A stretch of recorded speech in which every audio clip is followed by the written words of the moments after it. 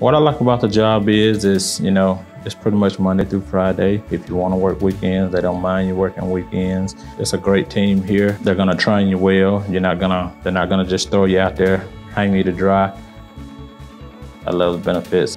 You know, I have a son that uh, has Down syndrome, so of course I had to add him to my benefits, and it's a big, totally difference than what I paid at my last job. When I first started, I didn't know if I would get the position not because I have Crohn's disease, and that wasn't a problem. When I first came in for the um, interview, I seen that it was a pretty good foundation for you to start at, and I hadn't looked back since.